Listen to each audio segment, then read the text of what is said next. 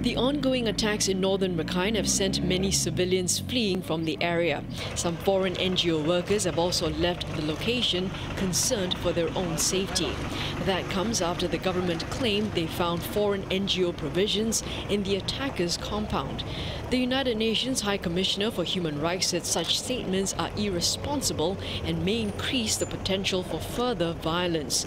Mr. Zaid Raad Al Hussein said such unsupported allegations against international aid organizations put their staff in danger and make it impossible for them to deliver essential aid.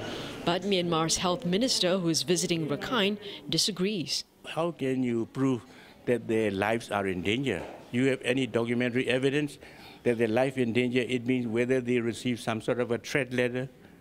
If they receive a threat, threatening letter, it is okay. But without that, we cannot speculate because the situation is such that we should never ever speculate in such a precarious situation.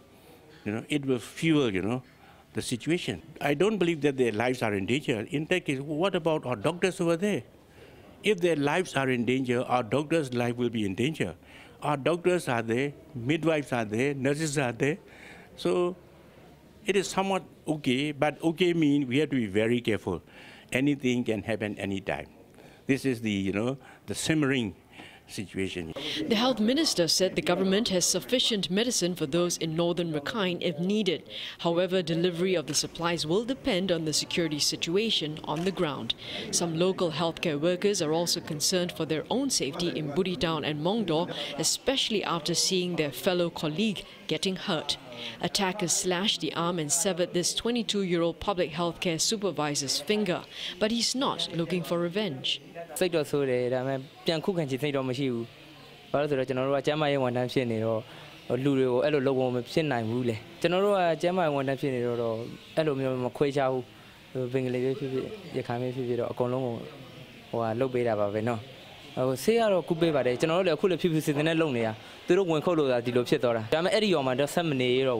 His 48-year-old mother, who was in Sittwe at that time, is just thankful her son's alive.